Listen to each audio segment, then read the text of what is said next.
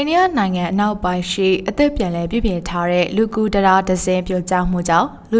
134ဦးသေဆုံးခဲ့ပြီးတဲ့နောက်အဲ့ဒီတရားကိုနိုဝင်ဘာလတရက်ကဝန်ကြီးချုပ်နရင်ဒရာမိုဒီတွားရောက်ကြည့်ရှုခဲ့ပြီးရန်ကုန်သမားတွေဟာနောက်ထပ်အလောင်းတွေကိုရှောက်ဖွေခဲ့ကြပါတယ်။မိုဒီရဲ့မူရမြေဖြစ်တဲ့ဂူဂျာရက်ပြည်နယ်မှာရှိတဲ့မော်ဘီမြို့မှာဖြစ်ပွားတဲ့ရင်းဖြစ်စဉ်ဖြစ်ပွားရတဲ့အကြောင်းရင်းနဲ့ပတ်သက်ပြီးမိကုန်းများစွာထပ်ပေါ်လာခဲ့ပါတယ်။နှစ်သက်တန်းပေါင်း150ရှိတဲ့ ရေတရားပြိုကျမှုနဲ့ဆက်နွယ်လို့လူကုန်းကိုလူသက်မှုဆွဲချက်တွေနဲ့ဖမ်းဆီးထားပါတယ်။အဲ့ဒီကြိုးတရားမှာဒေဝပလီအားလည်းရဲ့နောက်ဆုံးနေ့ကလူအုပ်စုလိုက်ခန္ဓာကျင်းပပြုလုပ်ခဲ့တာဖြစ်ပါတယ်။ရင်းတရားပြိုကျမှုဖြစ်စဉ်မှာတေဆုံးသူတွေထဲမှာခလေး48ဦးပါဝင်ပါတယ်။ ထွက်ပေါ်လာတဲ့မှတ်တမ်းဗီဒီယိုများအရအဲ့ဒီတရားပေါ်မှာလူများပြည့်ကျက်နေပြီးတဲ့နောက်ရုတ်တရက်ကေဘယ်ဂျိုးတွေပြတ်သွားခဲ့တာကိုတွေ့မြင်ရပါတယ်။လူပေါင်းညာချီမြစ်တွင်းကိုပြုတ်ကျခဲ့ပြီးတရားပေါ်မှာတွဲလောင်းကျနေတဲ့သူတွေကလည်းညအမောင်ထဲမှာအကူအညီများအော်ဟစ်တောင်းခံခဲ့ကြပါတယ်။